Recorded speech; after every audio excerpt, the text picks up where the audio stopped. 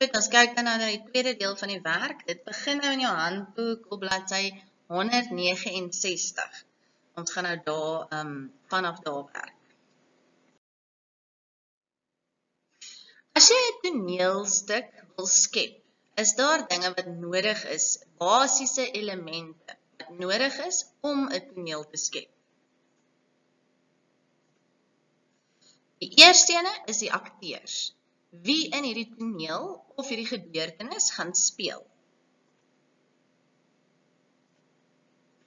Dan kry jy die gehoor. Wie is dit wat kyk na wat gebeur? So hulle speel nie saam in die toneel nie. Hulle kyk as toeskouers tot wat gebeur. En dan natuurlik 'n plek waar dit gaan gebeur. Hierdie is jou hoofelemente As jy dan nou 'n drama of 'n toneelstuk skep, is dit jou hoofelemente van wat jy gaan nodig hê, die 3. Dis wie in die ding is, waar dit is, waar hierdie plek plaasvind en wie is die gehoor. Dan kry ons ondersteunende elemente, dinge wat jou verder help, maar dit is nie die hoofgoed wat belangrik is of noodsaaklik is vir dit wat moet gebeur nie. Dit ondersteun. Die eerste is rekwisiete. Rekwisiete, onthou julle ons het dit al gedoen, is alles op die verhoog wat jy gebruik. As jy 'n stoel daar sit of in ons revue sit ons altyd verf ons die agterkant en ons gebruik um asblikke het ons laas gebruik vir die eerste liedjie in die revue en ons het soms kieries gebruik of ons maak die kante op en ons maak dit mooi soos 'n kasteel of 'n paleis of 'n of wat ook al. Al daai goedjies wat jy op wat jy op die verhoog sit is rekwisiete. Dan het jy natuurlik kostuums nodig. Wat gaan jy aantrek? Wat definieer jou karakter in dit wat hy aan het?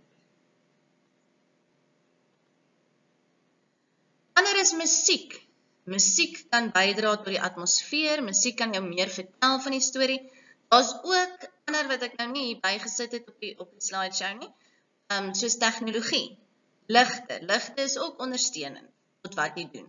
Um, nie net ligte by tegnologie nie, ons kry daar rekenaars. Sê nou maar ons wil die agterskerm verander, 'n projektor. Dit is ook deel van tegnologie en dit ondersteun ook dit wat gebeur.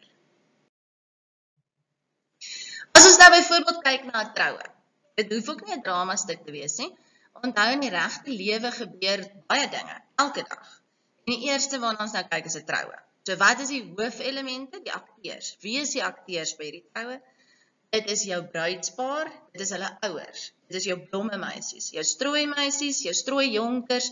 Jy moet 'n predikant hê. Jy gaan kelners nodig hê om die mense te bedien by die troue. Jy gaan um 'n fotograaf nodig hê wat die foto's neem op die troue. Al hierdie mense is jou akteurs wat gaan 'n deel vorm van hierdie gebeurtenis. Dan die plek. Dit is by 'n venue of dit is by die kerk en dan by 'n saal. Daar's verskillende plekke waar mense kan trou. So dit is jou tweede hoofelement. Ons het nou die akteurs is die eerste ene. Die waar dit gebeur is die tweede ene. Die derde ene is die gehoor. Nou as jy by 'n gewone troue is, is almal nie akteurs nie. Gewone gaste is gehoor Hulle kyk toe op wat gebeur. Hulle is die getuies wat sien dit is alles wat om ons gebeur. So wat is die ondersteunende elemente by 'n troue? By 'n troue het jy tegnologie nodig. Daar's 'n mikrofoon, daar's dalk 'n rekenaar wat 'n slideshow wys. Jy het rekwisiete, jy het blomme, jy het kersse, jy het borde, jy het messe, jy het virke, jy het klomp goedjies wat mense opmaak by die troue. Jy het kostuums. Sy dra 'n trourok, hy dra 'n troupak. Jou blomme meisies dra mooi rokke.